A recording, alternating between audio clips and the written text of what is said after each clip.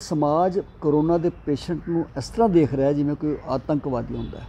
ਇਸ ਕਾਲ ਦੇ ਵਿੱਚ ਮੈਂ ਜੋ ਦੇਖਿਆ 15 ਦਿਨ ਦੇ ਵਿੱਚ ਕਿ ਜਿਹਨੂੰ ਕਰੋਨਾ ਹੋ ਜਾਂਦਾ ਹੈ, ਉਹ ਕਰੋਨਾ ਦੇ ਦਰਦ ਨਾਲੋਂ ਘੱਟ ਤੇ ਡਿਪਰੈਸ਼ਨ ਵਿੱਚ ਜਾ ਕੇ ਜ਼ਿਆਦਾ ਮਰਨ ਨੂੰ ਤਿਆਰ ਹੁੰਦਾ ਹੈ।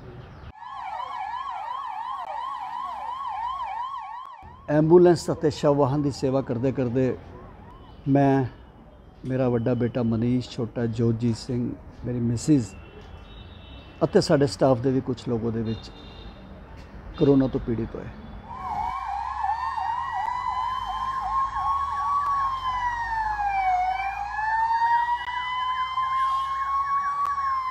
ਸਮਾਜ ਦੀ ਅਗਰ ਮੈਂ ਗੱਲ ਕਰਾਂ ਤੇ ਸਮਾਜ ਕਰੋਨਾ ਦੇ ਪੇਸ਼ੈਂਟ ਨੂੰ ਇਸ ਤਰ੍ਹਾਂ ਦੇਖ ਰਿਹਾ ਜਿਵੇਂ ਕੋਈ ਆਤੰਕਵਾਦੀ ਹੁੰਦਾ ਹੈ।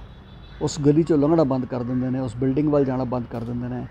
ਜਿਸ ਮਹੱਲੇ 'ਚ ਤੁਸੀਂ ਰਹਿੰਦੇ ਹੋ, ਜਿਸ ਬਿਲਡਿੰਗ 'ਚ ਬਿਲਡਿੰਗ ਵਾਲੇ ਆਪਣੇ ਤਾਲੇ ਲਾ ਲੈਂਦੇ ਨੇ। ਬਿਮਾਰੀ ਤੋਂ ਨਫ਼ਰਤ ਕਰੋ, ਕਰੋਨਾ ਦੇ ਪੀੜਿਤ ਤੋਂ ਨਫ਼ਰਤ ਨਾ ਕਰੋ, ਉਹਦੀ ਉਲਟਾ ਸਹਾਇਤਾ ਕਰੋ, ਉਹਦਾ ਮੋਰਲ ਵਧਾਓ। ਨਹੀਂ ਜਾ ਸਕਦੇ ਕੋਈ ਗੱਲ ਨਹੀਂ, ਰੋਜ਼ ਇੱਕ ਟੈਲੀਫੋਨ ਕਰਕੇ ਉਹਨੂੰ ਖਾਲੀ ਉਹਦਾ ਮੋਰਲ ਵਧਾ ਸਕਦੇ ਹੋ, ਉਹਦਾ, ਉਹਨੂੰ, ਉਹਦੇ ਵਾਸਤੇ ਅਰਦਾਸ ਕਰ ਸਕਦੇ ਹੋ। ਲੇਕਿਨ ਦਿੱਲੀ ਵਰਗੇ ਸ਼ਹਿਰ ਵਿੱਚ ਪ੍ਰਸ਼ਾਸਨ ਇਹ ਕਹਿੰਦਾ ਹੈ ਕਿ ਤੁਸੀਂ ਹਸਪੀਟਲ ਨਾ ਜਾਓ, ਘਰ 'ਚ ਹੀ ਕੁਆਰੰਟਾਈਨ ਹੋ ਜਾਓ।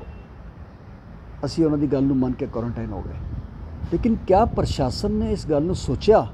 ਕਿ ਜਿਹੜੇ ਲੋਕਾਂ ਨੂੰ ਘਰ ਦੇ ਵਿੱਚ ਕੁਆਰੰਟਾਈਨ ਕਰ ਰਹੇ ਨੇ ਉਹਨਾਂ ਦੇ ਘਰ ਦੇ ਵਿੱਚ ਉਨੀ ਸੁਵਿਧਾ ਵੀ ਹੈ ਕਿ ਨਹੀਂ अगर उनको लग रहा है ऐसा तो वो कह नहीं सकता अदरवाइज मेरा नंबर उनके पास है और उनसे मेरी बात हुई थी पॉजिटिव होने के बाद में और उन्होंने बोला था कि भाई अगर मैंने बोला था अगर कोई भी इशू हो कोई भी दिक्कत हो आप हमें बताएं अब जब तक वो बताएंगे नहीं तो हमें तो पता नहीं चलेगा ना घर घर हर किसी से तो पूछ नहीं पाएंगे कोई भी बात होती है तो हम तो खुद भी उनको मदद के लिए बोलते हैं उन्होंने बहुत मदद की बहुत अच्छा काम किया है यहाँ पे ਸਾਨੂੰ ਖੁਸ਼ੀ ਹੋਈ ਜਦੋਂ ਸਰਕਾਰ ਨੇ ਕਿਹਾ ਕਿ ਦਿੱਲੀ ਦੇ ਵਿੱਚ ਕੋਈ ਵੀ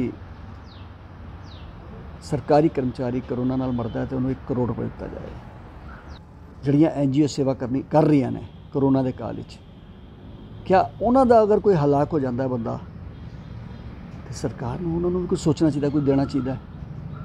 ਤੇ ਅਸੀਂ ਕੰਮ ਨੂੰ ਆਪਣੇ ਰੁਕਣ ਵੀ ਨਹੀਂ ਦਿੱਤਾ ਜੀ। ਸਾਡੇ ਸੇਵਾ ਦਲ ਦੇ ਪੂਰੇ ਵਾਰੀਅਰਸ, ਸਾਡੇ ਪੂਰੇ ਸੇਵਾ ਦਲ ਦੇ ਮੈਂਬਰਸ, ਡਰਾਈਵਰਸ ਉਸੇ ਤਰੀਕੇ ਨਾਲ ਸੇਵਾ ਕਰਦੇ ਰਹੇ, ਜਿਸ ਤਰ੍ਹਾਂ ਪਹਿਲੇ ਕਰ ਰਹੇ ਸੀ। ਪਰ ਹੁਣ ਵੀ ਅਸੀਂ ਫੀਲਡ 'ਚ ਆ ਰਹੇ ਹਾਂ ਅਸੀਂ ਪੂਰਾ ਕੰਮ ਉਸਨੇ ਕਰਾਂਗੇ।